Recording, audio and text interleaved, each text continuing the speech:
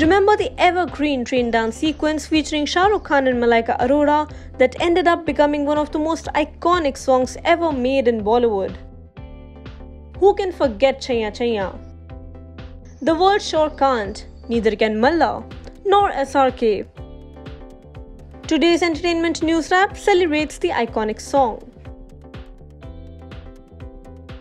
On the occasion of beau Arjun Kapoor's 38th birthday eve, Lady Love Malaika Arora had a special gift in mind. But let us tell you, it was a gift for all 90s kids.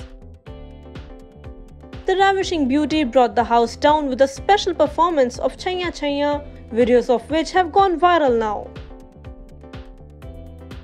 Malaika in the video can be seen dancing like there's no tomorrow, looking stunning in a red and white body hugging maxi dress. Lovely.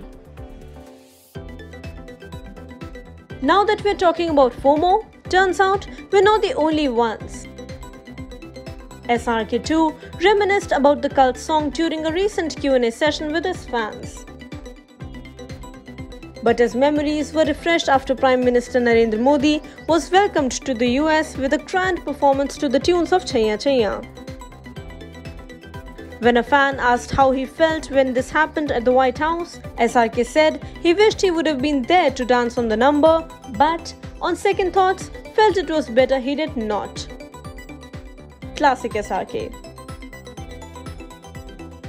Anyway, here's a food for thought for all music lovers. Should originals be made into remakes? You tell us because netizens aren't too happy about Kartik Aaryan and Kiara Advani's Pasoori Nu, a reprised version of Ali Sethi's blockbuster Pasoori.